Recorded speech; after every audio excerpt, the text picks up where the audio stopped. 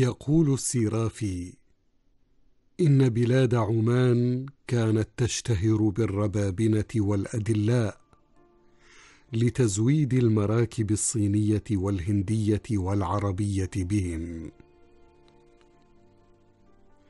ويؤكد برزك بن شهريار أن أهل عمان اشتهروا بالملاحة وكان منهم الربابنة.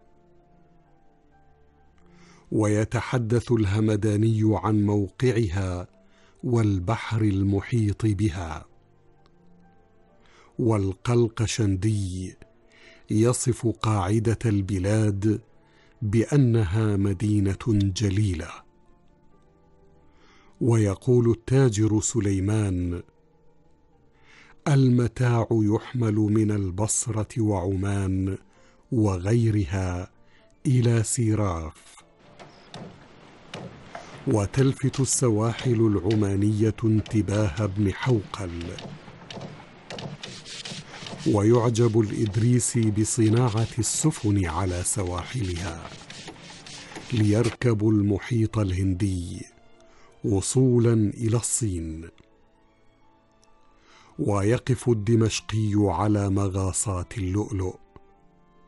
ويصفها الاصطخري بأنها مستقلة بأهلها كثيرة النخيل والفواكه.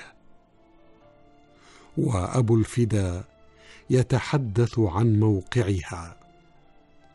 والحميري يقول عن عمان إنها بلاد مستقلة في ذاتها عامرة بأهلها. والمقدسي يقول إن كورة عمان كورة جليلة. مساحتها ثمانون فرسخا مربعا. كلها نخيل وبساتين. فيما يذكر ابن خرداذب أن خراجها يبلغ ثلاثمائة ألف دينار سنويا.